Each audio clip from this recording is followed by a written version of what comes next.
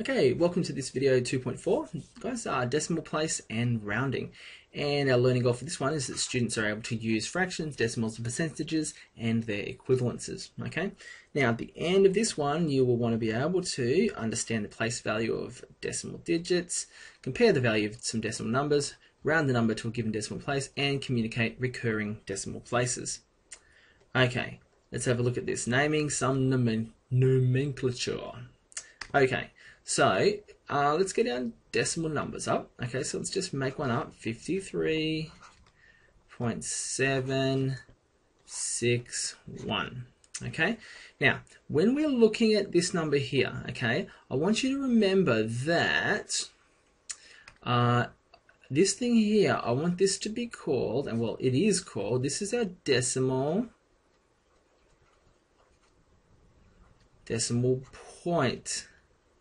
Okay, not decimal place. It's the decimal point. Okay, these things here.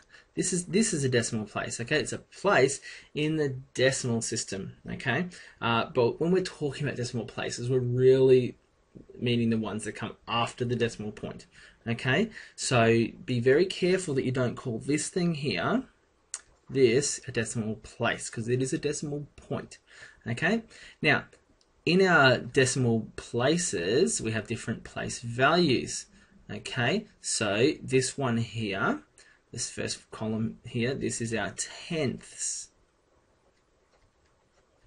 Okay, and so this number here corresponds to uh, 7 times 1 over 10. Okay, 7 tenths. Okay, this next one here, this is our hundredths. And that would be 6 times 1 over a 100. And this last one, bit squiggly there, this is our thousandths. And that would be 1 times 1 over a thousand. Okay, so that's our different names. Obviously, keeps going down at ten thousandths, hundred thousandths, millionths, etc. Okay, but um, we probably won't be necessarily referring to those by name. Okay, the main ones you want to know is tenth, hundredth, thousandth. Okay, and be able to understand what they mean, where they are, uh, and obviously call them the right thing. Okay, a couple of key ideas for us to think about. Okay, we can compare the value of two decimal numbers. Alright, so let's have a look at this one here. The main thing we want to think about is the position of the decimal point. Okay, so if I put the right, look at these two numbers. Now let's forget about the fact that these are pretty easy ones to compare, but let's have a look at, we, we write them, so 5.2345, and the other one is 10.34. Okay, as we can see, this number has a number in the tens column and it in the tens place, and this doesn't. So that means that this one here is automatically bigger. Okay, so as we come in this this side, whichever, if this top one doesn't have any further left as well, it, we, we know that this one's going to be larger. Okay, we don't have to worry about the decimal uh, places. Okay, right. However, let's look at this one here.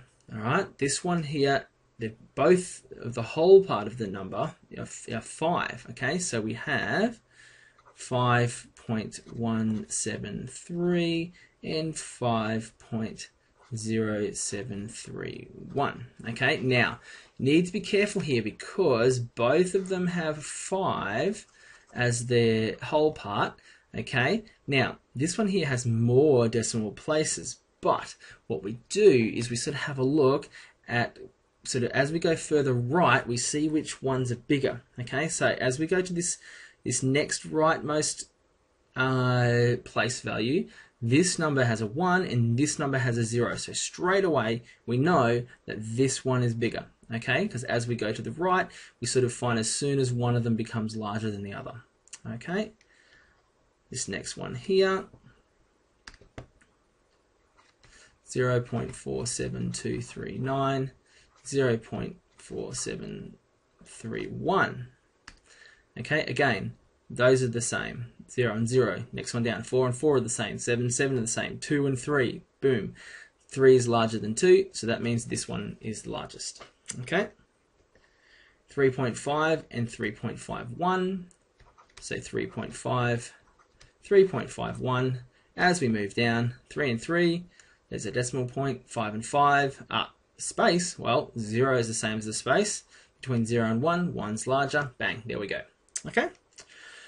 Alright, we can provide an estimate for a number by rounding it. Now, rounding values and being able to do that quickly, concisely, and easily for everybody is a very important skill because, for instance, I wouldn't want to report exactly how many millimeters there were from maybe my house to school or even how many millimeters or micrometers tall you are, okay? Because uh, this sort of gets to a point where it either doesn't matter anymore or people don't need to have that level of accuracy, okay? And so what you do is you round that number, you approximate, you estimate that number to a much more easy to deal with uh, place value. Okay, so let's have a look here. What this means is that this is asking you, or essentially saying, round uh, 4.675 to two decimal places. Okay, so usually when you see that, that means saying round this part here to this many decimal places. Okay, right, how are we going to do that? Okay, so let's write our number, 4.675. Okay, now if we want two decimal places, what that means is that we are going to cut here. So the number is going to end up being broken up here.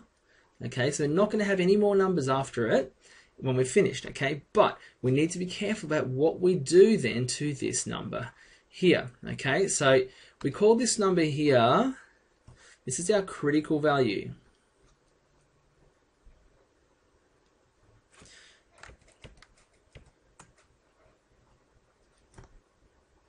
Might call it a critical digit. Okay, so couple of cases for us to consider. All right, so if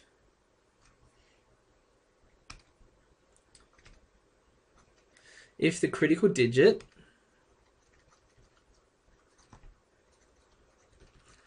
is uh, greater than equal to 5, then add 1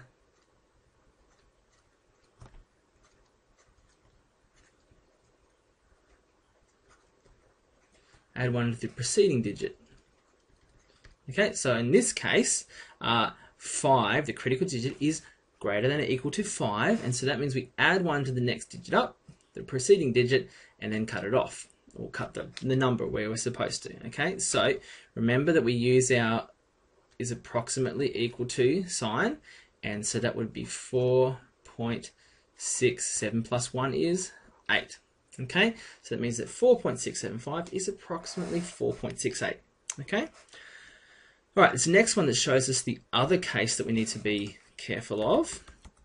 Okay, and that would be if we had the number 0.3249 823. We're going to round to two decimal places again. It means we're going to break it here. Okay, now we have a look at our critical digit. Okay, now here's our other case. If the critical digit is less than 5, I've written my greater than less than symbols incorrectly. That'll teach me for not having other numbers in there. If the critical digit is greater than or equal to 5, that's that way. If the critical digit is less than 5. Okay, sorry about that. If it's less than 5, simply truncate the number. Okay, truncate means just chop it there. Okay, so we've got that number there, and we're just going to truncate it, which means just chop it off where we want to round to. So that will be approximately equal to 0.32. Now, importantly, it doesn't matter that there is a 9 or an 8 here. All we're concerned about is this 4. Okay? All right, let's have a look at the last couple of examples. So we're going to round this one off to three decimal places. 0.94832. I'm going to round that to three decimal places, so it's going to be chopped there. Have a look at this number, that's case 2, so it's less than 5, so we're just going to chop the number off at our line, and we'll end up with 0.948. Okay? Last one, 5.45295. Round this to four decimal places. Okay, so here's like a, a, case one, but with a difference. Okay, but look at our number here. It's a five. So that means we're going to be adding one to this number here uh, before, uh, when we cut it off. Okay, but that 9 plus 1 is 10. So that means you end up adding another one to this one here. Okay, so this will now be approximately equal to 5.453 and we'll put a zero here to show that we're rounding that out off to four decimal places. Okay, so you might have seen a lot of this kind of thing before. Maybe you're sort of super expert at it, but I hope you've sort of seen those two cases, showed you a couple of special issues that can come up uh, in there. So I uh, hope you enjoyed that video and please come and see me if there was anything you had any issues with. Okay, thanks.